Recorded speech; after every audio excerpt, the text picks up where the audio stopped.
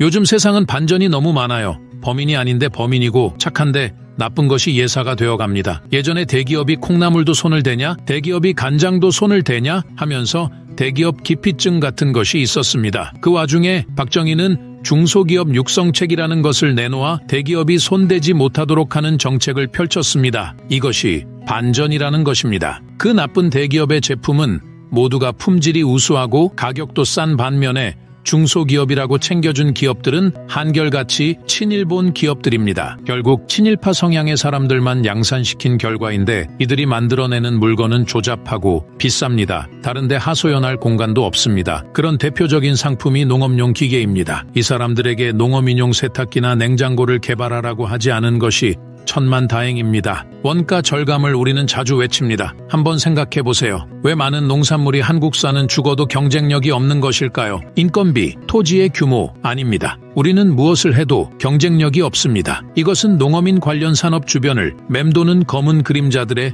장난이라고 믿습니다. 지자체 의원들 세계 관광은 죽어라 가두만 어디 가서 하나라도 배워오면 좋겠네요. 예를 들어 요즘 전자동화 되어가는 농업 현장을 보고 와서 그것을 접목하는 시도를 하는 것이 시골 의원들이 해야 할 일일 텐데요. 사과 농사만 하더라도 지금 자동화는 거의 계란 생산하는 양계장 뺨을 칩니다. 양계장 이야기가 나왔으니 말인데 돼지 생산의 경우도 생각해 보세요. 한국이 돼지 생산에서 경쟁력이 있을 이유가 있나요? 그런데도 한국의 돼지 생산은 아마도 상당 수준 경쟁력이 있습니다. 과수 농가를 보면 농어민은 빅팀십니다. 먹이감이라고 해두죠. 묘목상이 해먹고 농약상이 해먹고 비료 퇴비로 해먹고 경매 중간 상인이 해먹고 농민은 빚쟁이만 됩니다. 저런 것을 바로 세우는 일을 해야 할 조직이나 인력들은 농민에 대한 인식이 마냥 영원한 바닷가 조개나 미역으로 생각하는 것 같습니다. 그 노인들보다 주변인들이 먼저 사라질 텐데 안타깝습니다. 정말 우리나라에 배고픈 사람은 없는가 보네요. 사람들이 극우 고도화되어가는 이유는 배부른 돼지이어서라는 것이거든요. 나는 가난합니다.